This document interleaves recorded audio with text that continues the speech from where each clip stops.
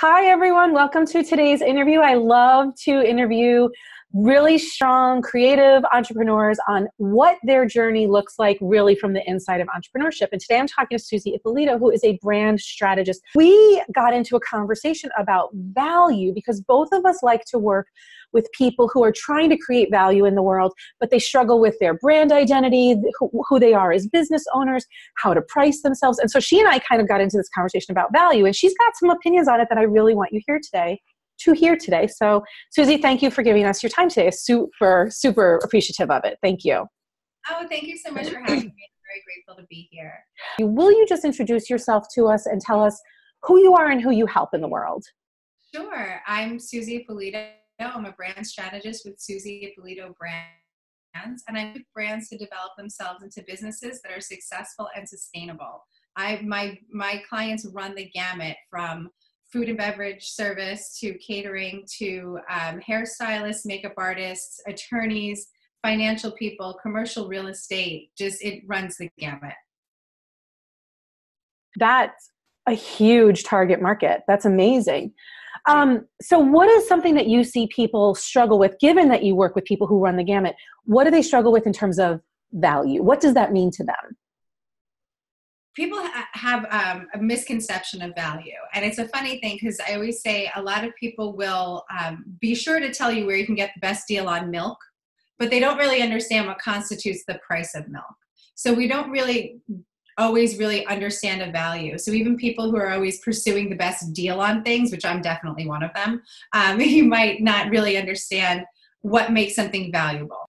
So what does make something valuable well, what ultimately makes something valuable is if it resonates with the person who's purchasing it, right? Mm-hmm. So we want to evoke some sort of an emotion. We want to evoke some sort of a need. We want to evoke some sort of brand awareness and recognition of themselves within your brand, so that they see your your service, uh, product or service as as something that will add something to their lives. Value is defined by the problem that it solves. So we all have these great ideas for businesses, but unless you can articulate in concrete terms the problem that your product or service is solving, then you have a little bit more work to do before you're ready to really put it out in the world.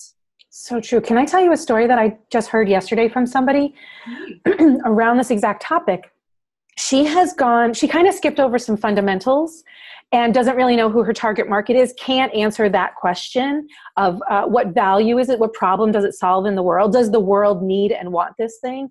And so she invested a lot of money into um, a lawyer and a, um, a graphic designer and a web designer, and then she actually had her product built and created.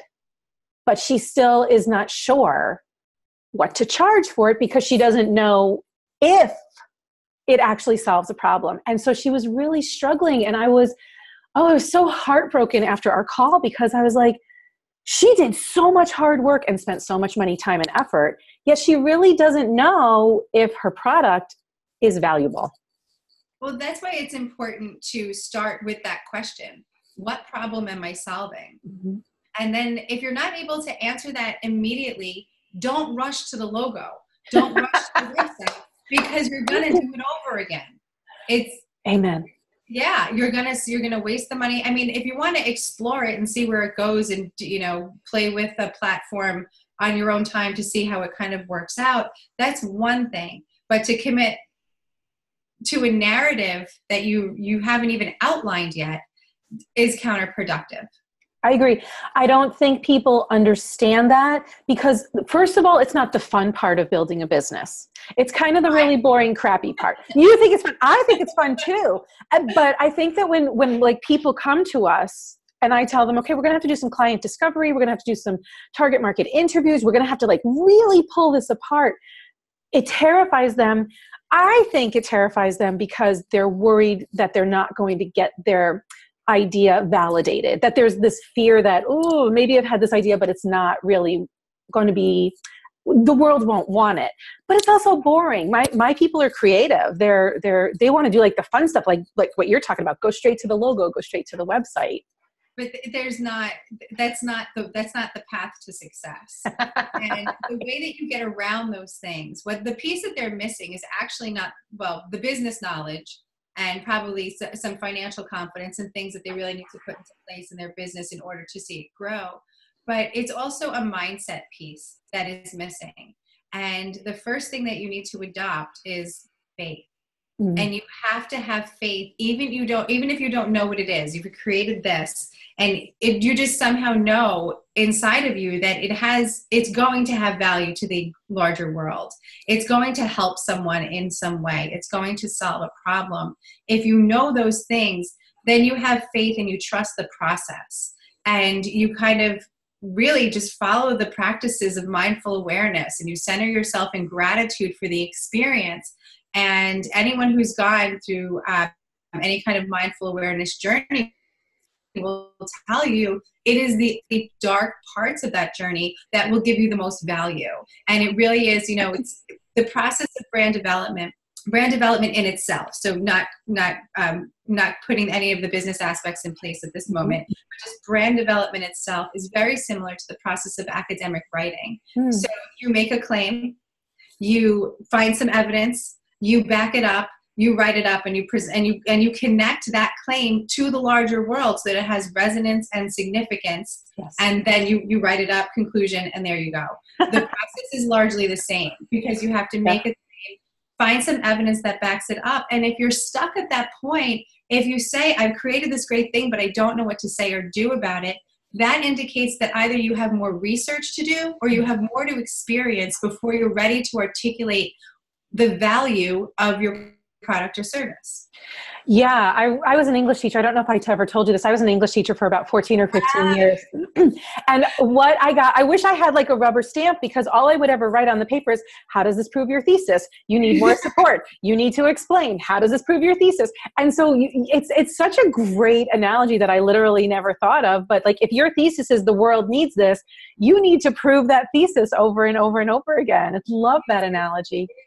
Yeah, and we get so frustrated because it seems like um, it, this is so easy for everybody else. It seems like my brand was born yesterday and it came out the box this way. This three years of hard work, mm-hmm. research, climbing up. Wait, that's not right. Got to go this way. Wait, that's not right. Okay, now this is what fits but um, still holding true to the core values that I established at the beginning. Mm-hmm. And it's so interesting if I go back to my original notes, which I come across every now and then, mm-hmm. a lot of the same language is there that is still present with me now.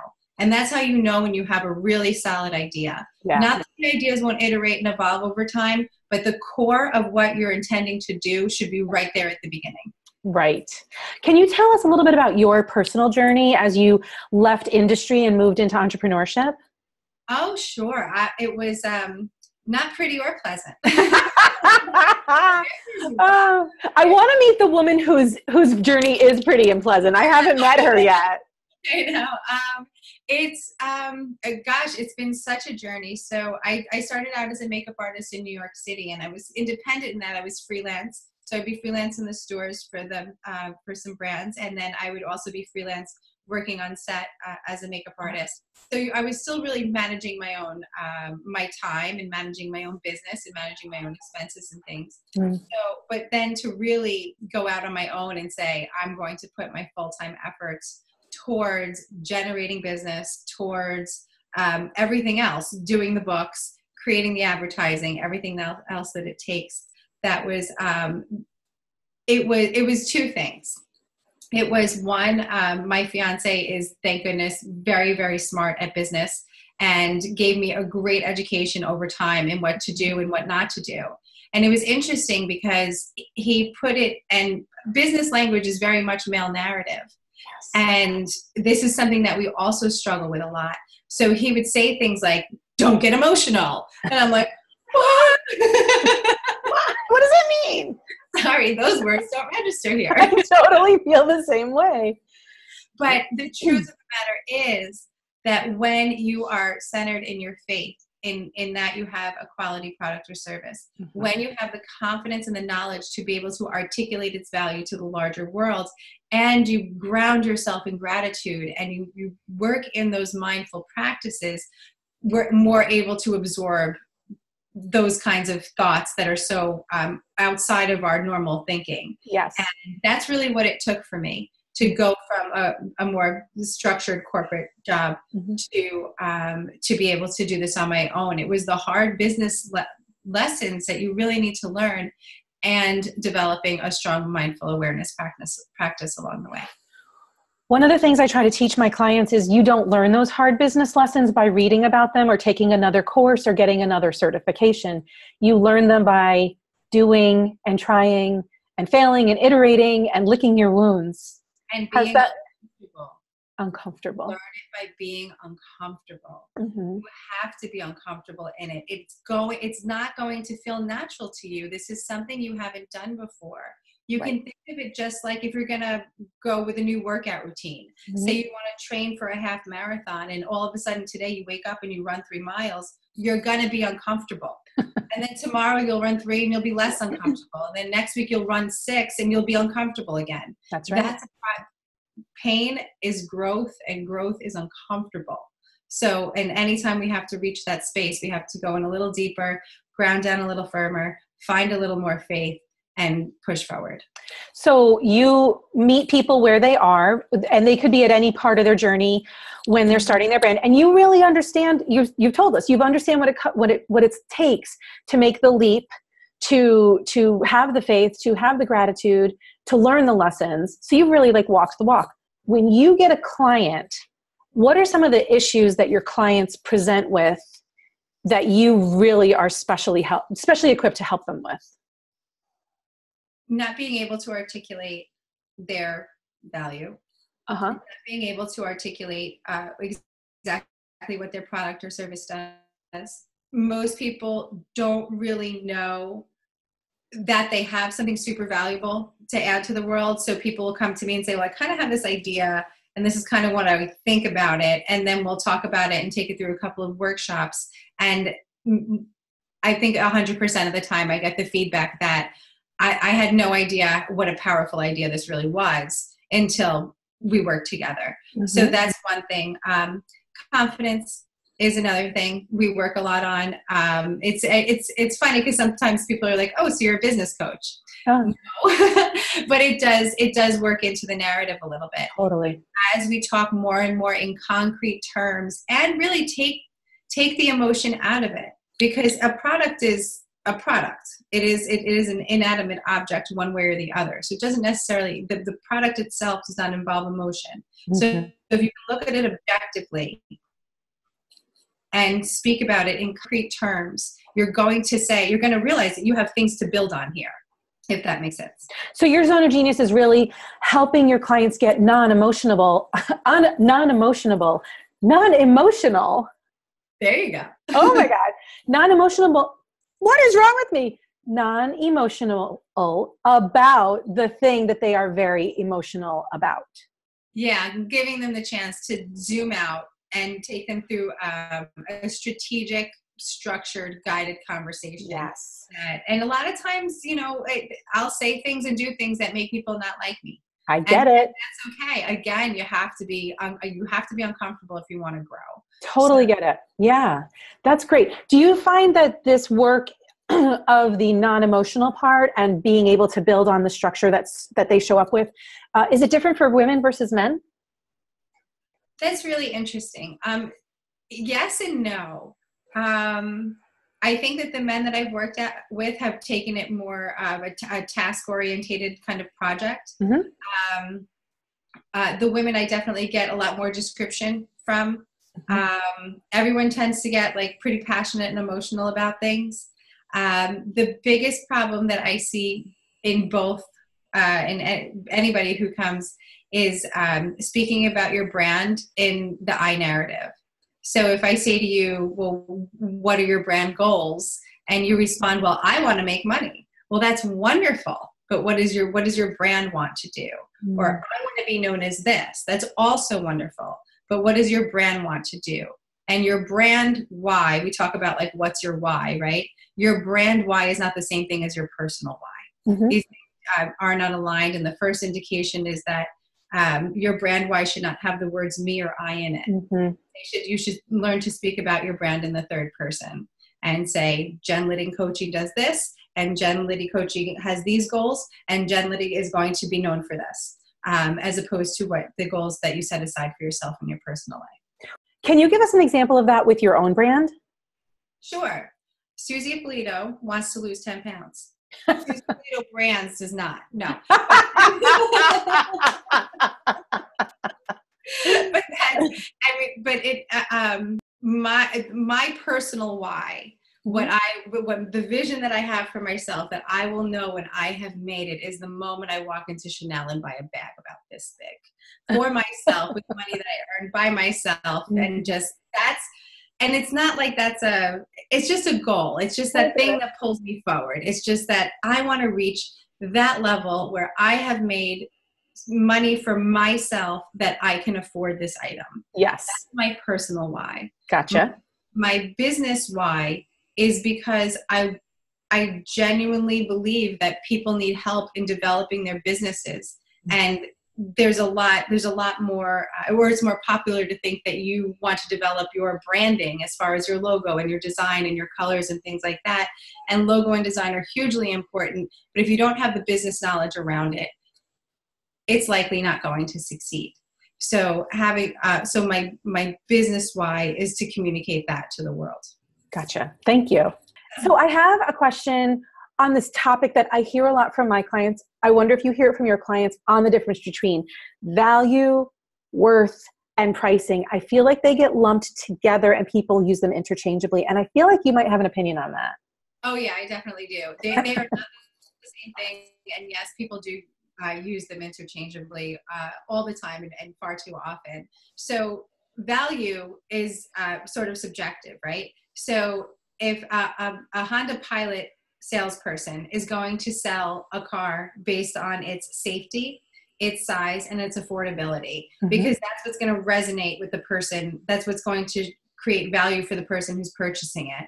A Ferrari salesperson is going to appeal to the ego and speed and money and luxury because that's what's going to resonate and create value for the person who's that, purchasing it. Sure. Worth is also kind of subjective if you think about if you're stranded on I 90 and you have no car charger and you run into the nearest um, road stop to get one and it costs $20, it is worth it to you to get it if you're on the road and your phone is dead. That's right. Whereas in your everyday life, if yours just breaks or you lose it, you'd probably wait until you can, or it's more worth $10 as opposed to $20. And then as far as pricing goes, and this is where it gets real sticky, people tend to say, well, I deserve to be paid this, mm. or I earn, I deserve to earn this, or I need this amount to pay my bills. But that doesn't create value for the people who are buying buying your product or service. So you need to think more about your cost structure. Okay. You need to think more about the market that you're in, mm-hmm. and you need to think uh, more about the kind of value that you're creating. Where are you creating those that connection for your clients? Mm-hmm. And the important thing is to be able to articulate your value. Because once you can articulate your value, you can create a proposal that is going to show that value. Mm-hmm. So you're looking at creating a proposal and you're looking at the price at the bottom and you're going, I really don't want to give this away for $100. dollars mm-hmm. I know my service is worth $200. It's not a matter of just changing that number one to a number two. It's a matter of relooking at that proposal and saying, where can I articulate more value? in this proposal so that my client understands what I'm going to deliver. Mm-hmm. Gotcha. And how valuable it is. That's super helpful. I find that the longer people are in business, what, what they struggle with at the very beginning of the business, because that's often where I meet my clients, um, they they back into pricing by what you're talking about like this is what i think it's worth or this is what other people are charging but they don't really have like a body of experience or or they don't have a body of like resources uh, maybe they don't have the confidence. So at the very beginning sometimes they will undercharge. I know i i definitely undercharged at the beginning but i needed to do that because i needed to build up my expertise. And like i have so many resources. I'll challenge what you just said. Okay. Less at the beginning, but I needed to do that because I needed to build up my expertise. Yeah. Let's reframe that to being I charge less in the beginning because I had not yet built up my expertise. that's that's very true. Yes. Your passion was there, Mhm. your focus was there, but you were not yet about you're not yet able to add that the value. add the value to get the price that you needed. So it's not a but, it's an and. I like that. I hadn't thought about that yet. I use that I use that tool a lot, but I hadn't applied it to this conversation with myself that I have. And that's really helpful. And it's more like empowering to say it this way. Yeah, it is You know? because we get we get caught in a lot of. I hate to use the word excuses because it's not really. I mean, because we're not doing it intentionally. It's not like you know my pile of laundry. very intentionally ignoring.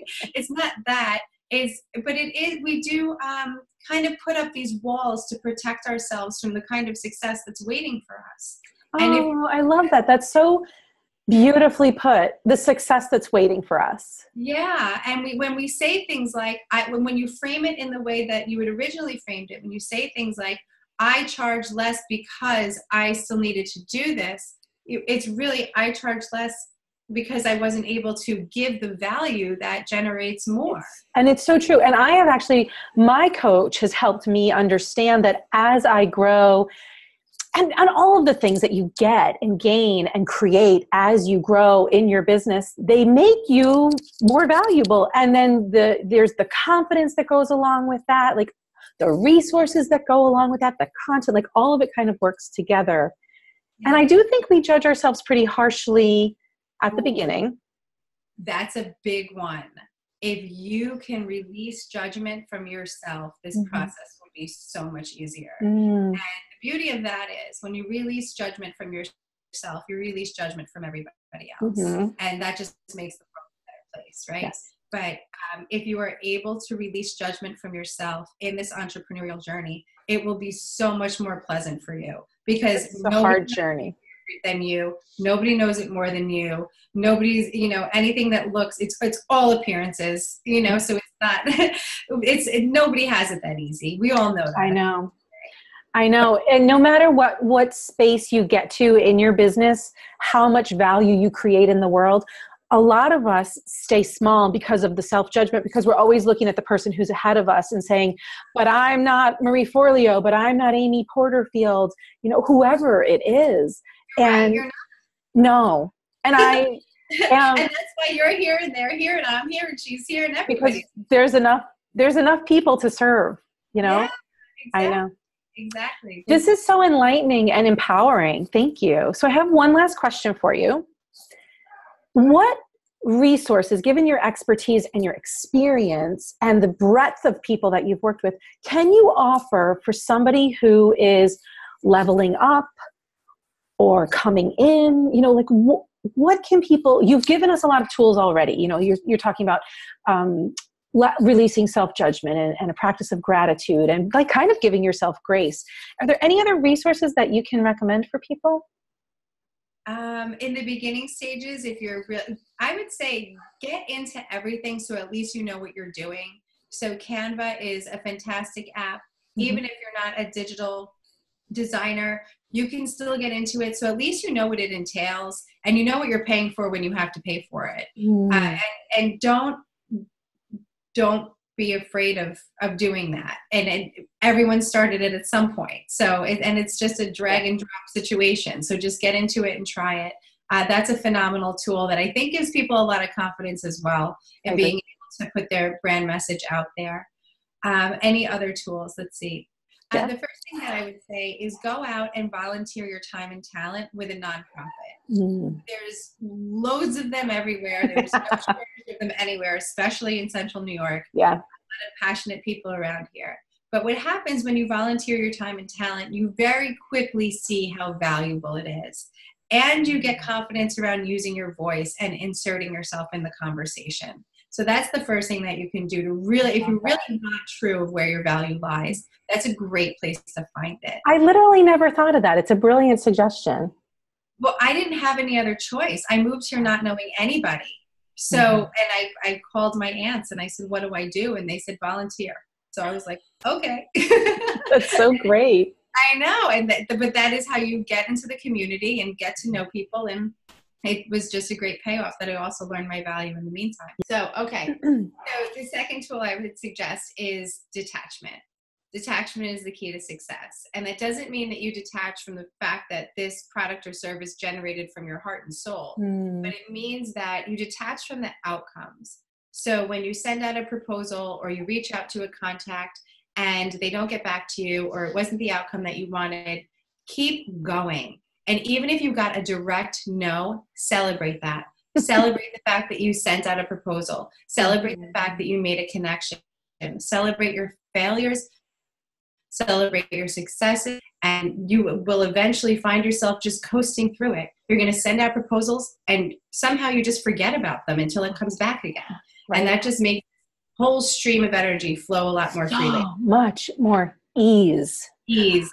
I have clients who will be like, well, I put it out once on Facebook and nobody took me up on it. I'm like, are you kidding? Like, there's so much noise out there. You have to, you know, put it out and put it out and not be det- attached to. I love. Oh, amen. Yeah. Okay. Yeah, you can't be attached to that outcome. You're in the. You are. You said it well. You're in the middle of a lot of noise. Yes.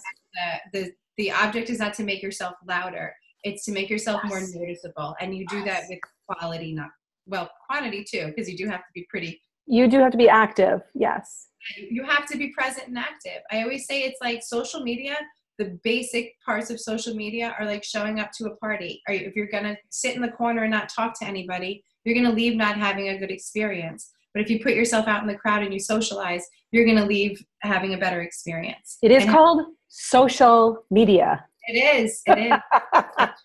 i know i know. Yeah. anything else about um, advice for people? Um, so there was detachment. One thing I hear a lot is, well, I feel bad.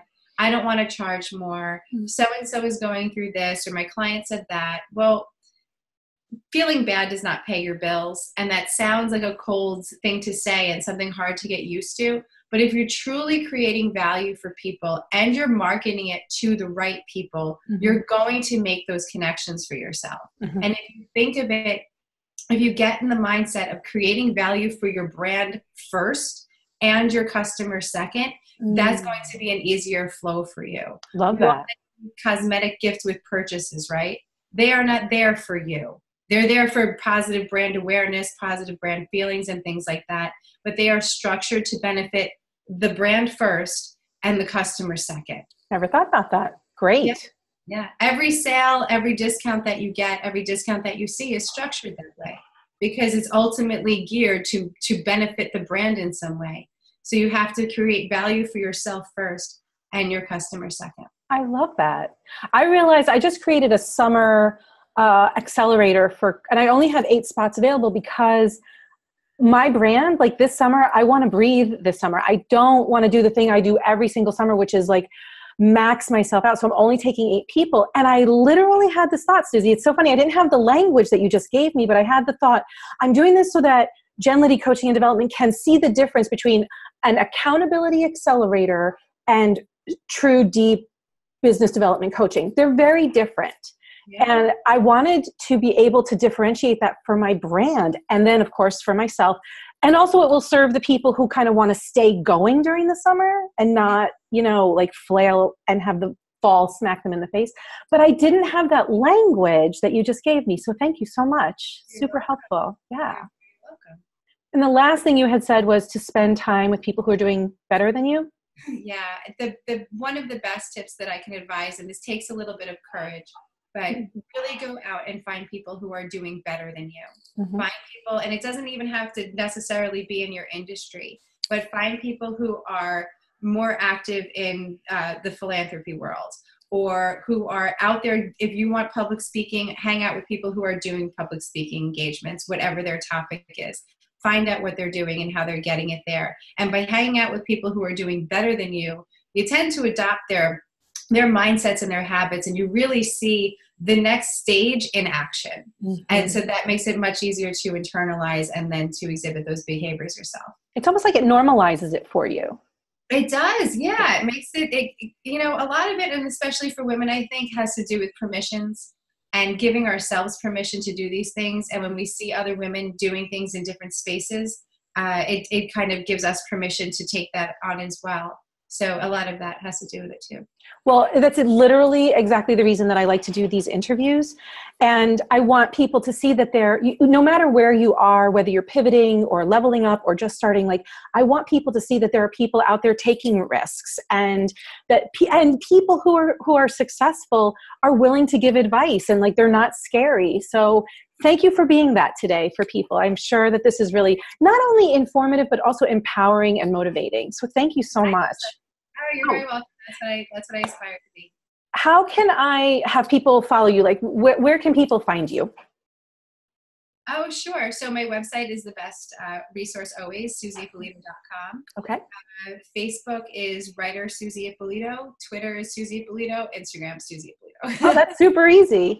Yeah. so. Susie, thank you so much for your time today. This was uh, like I learned a whole bunch, and it was fun to connect with you again. And I will see you soon in person. I hope. Okay, wonderful. Thank you so much. Thank you.